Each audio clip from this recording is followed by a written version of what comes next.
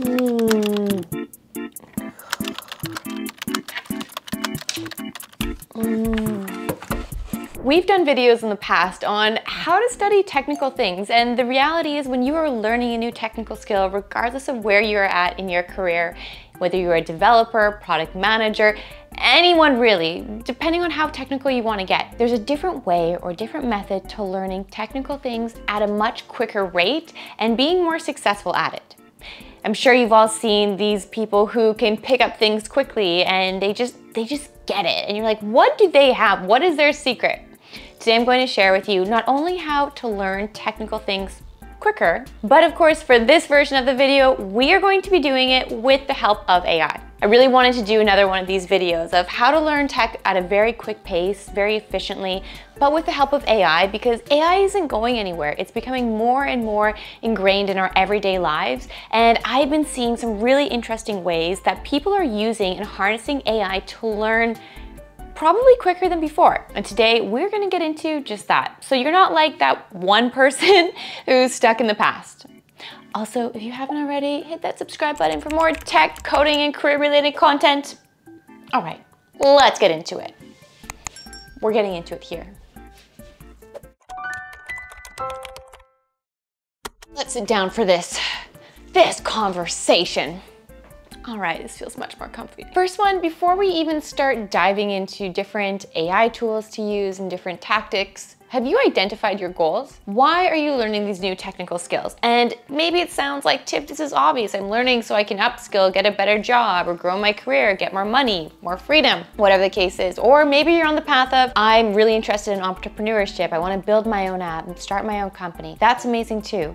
But really having a focus and narrow in on what your specific goal is is so important, even just writing it out or saying it out loud, because you might think you know what it is, but when you take a step back and think, why am I really learning this? Like what is, what am I gaining? What is the purpose? It's so essential to do because too often we just kind of almost go with the rat race. We think it is so important to learn the latest and greatest because everyone else around us is learning this. We see this a lot with, you know, the Web3 hype and then now the AI hype. It's, and there will be another one too. The reality is you really need to take a step back and answer the why before you move forward on anything else. Why are you learning this technology? All right, I pulled up a chair to get a little, a little bit more comfy, you know? Once you are done figuring out your why as to why specifically you are learning whatever technology is the case that you are learning. The next step before even figuring out what resource to use, what uh, study resources will help you is to come up with a plan and be realistic. Too oftentimes we kind of almost glamorize what this study pattern will look like, how frequently we can study. We think, oh, I'm going to, I'm so motivated as I'm thinking about this that there will be no problem with me keeping this motivation. The reality is if you are working, you have a family, you have like a social life, all these other responsibilities piling up, yeah, it will be, the motivation will disappear and you're going to have to look somewhere else, find that discipline in you in order to keep on studying. There are some really interesting tools now with AI that I will share with you that will really help you as far as coming up with a plan or a schedule with your calendar for finding the perfect times to study. And for me, what I do is whatever I think is going to be realistic. So say I think to myself, all right, Tiff, I can study an hour a day to learn about, say AI. That's something I've been spending a lot of time learning about, I'm very interested in. Even though when I'm saying that to myself, I'll be like, oh yeah, I can definitely spend an hour a day. I'll actually cut that in half because what ends up happening is when you are making that commitment, you're so much more motivated than when you actually are following through with it. So if it's possible in your situation, I would honestly cut it in half and anything extra that you do on top of what you've committed to, that's great. But at least you're hitting your goals and getting that sense of accomplishment on a daily or weekly basis. This AI really is pretty cool with time blocking. If you've seen some of my past videos, you know I really like time blocking. I speak about it a lot actually. And when I discovered this AI, it's called Trevor AI, you can literally put in blocks into your calendar. And as someone who's a visual person, this is super helpful. So let's go open Trevor AI. I don't want to log into my account for it because, you know, I love you, but we don't need uh, you all seeing my calendar fully at this point. Uh, but let's see they have an example because I really don't want to go into my calendar. Let's see here. All right, so you can see here on screen, it's good for task planning. So you can literally come up with different tasks throughout the day, different goals for your learnings, and then you can put them in throughout your calendar. And this is super handy too when you think about, well, life. It changes all the time. Every day, what I think I'm gonna do, I end up doing different things, more, typically more things, unfortunately, and things get moved around. So anyways, it's called Trevor AI. I would highly suggest you check it out. It's really cool. And you also too, that satisfaction when you check off that you've done something, it's huge.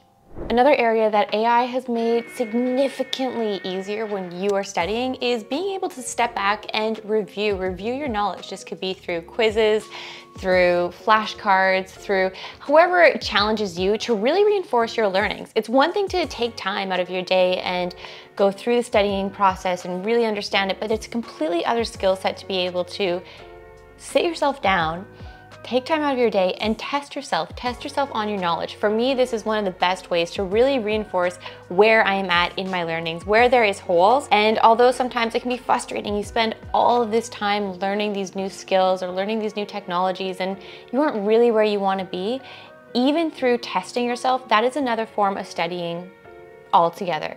Here are some AI tools that will really help you with testing your knowledge. All right, this is probably one of my new favorite tools. It's called Scholarcy. I think I'm pronouncing that right. And what it does is it summarizes key articles for you. So as you can see on screen here, this is an example that um, they give on the website. So how the weather affects the pain of citizen scientists using a smartphone app. So then as you can see here, you input the uh, URL or you can upload a document. So this is great for students as well. And then what it will do is you can export the summary flashcards, save to library, and it will share with you different key concepts, um, abstracts, summaries, highlights. Like this is really wild. So go down to key concepts and then say it's like cohort study. And then it will take you to learning more about that. So this is super interesting. Let's go to expanded. Okay, let's go back to their main page actually. Go here, and we can scroll down a little bit. Um, and they say they can save you hundreds of hours, so it's an online article summarizing tool. So it reads your research and uh, whether it be reports or websites, and then breaks them down into bite-sized information. So this is really interesting. Um, the flashcards usually work. Right now they're not working for me, but you can also export them as to flashcards, which is a great way to continue to study.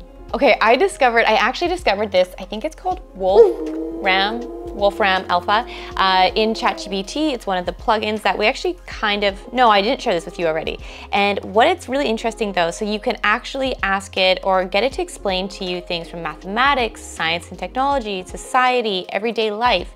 And it really breaks it down for you in a logical way that's easy to understand. So let's go by, let's say you're studying computer science and you can see here, you can get very specific. So it's very technical or very math oriented, I would say. So this is really good for anyone who is more on that side or really finds that interesting. So you can do, um, for example, Turing machines, fractals, image processing, hashing. Uh, let's do hashing. Compute hash codes, compute a hash code for a string. Okay, so let's say, oops, where did you go? Here we go. Natural language, or you can do math input. Um, all right, this is above my pay grade, I'm telling you. But it's really interesting. Let's do something like personal health. And once again, it's all around math and equations, so it's very logical in this way. So let's do how much iron in one cup of orange juice. Juice. Juice and you can see here it will output it for you. And it's very specific, very data driven. So this is really interesting if you are someone who's studying one of these topics, uh, especially I think in the mathematics and technology realm, and really find more of the, the math side of things, the logistical side of things very interesting. This is for you. The other thing I would do when you are looking to quiz yourself and continue to see where your knowledge lies is honestly, if you have ChatGPT, I know it's so talked about all the time, but honestly, there's so many use cases. GPT-4 in particular, if you go to it, you can do browse with Bing, which is super powerful in my opinion. And then you can prompt it to quiz you on whatever topic you are learning. So uh, ask me, and get very specific with it. So ask me, quiz me on 10, uh, let's say senior Python uh, questions people ask in interviews. This might not be perfect. I feel like this prompt could be improved quite a bit, but you get the idea. Then it will output after some time, some questions that are typically asked. All right, let's see. Generators, meta classes, I mean, I don't know if people actually ask these kind of questions in interviews. I mean, to a degree, they might, some of them.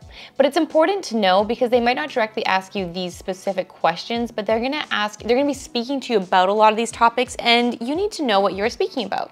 It's also a great way to really enhance your confidence before going into an interview by understanding as to where your knowledge stands. And maybe you are a little nervous, but then you do some of these quizzes on here. Even if it's a false confidence boost, meaning that they don't ask you anything that you quizzed yourself on, it will give you that extra kind of oomph, oomph.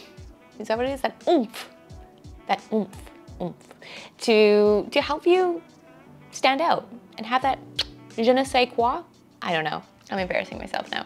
Anyways, ChatGPT, GPT-4, prompt it to ask you some questions. You can't go wrong with it. All right, those are some interesting ways that you can really utilize AI for self-studying technical things. It is such an art form in itself, being able to really master learning technical things at a quick pace, but it will help you substantially in your career, in your business, whatever the case may be, if you are able to really harness these tools and utilize them to your full effect, that you are learning better and faster with them. I know some people are kind of hesitant about, I don't know if I want to incorporate AI tools into my day-to-day -day life or in my study patterns is it really going to help me learn or is it doing the learning for me? If you are using some of the tools that I've listed throughout this video, you are totally fine, meaning you are the one in charge, you are the one in control, learning still. These tools are here to assist you and help really with learning faster and more efficiently. All right, I hope you enjoyed this video. It was so fun to make and really explore some of my favorite AI tools for learning at a quicker and faster rate. Leave down in the comments other videos that you want me to create, other questions you have. I do my best to answer every single question. And also too, if you have any other AI tools that you really love, let me know down below. I'm always looking for the next latest and greatest. All right, see you all soon. Thanks everyone.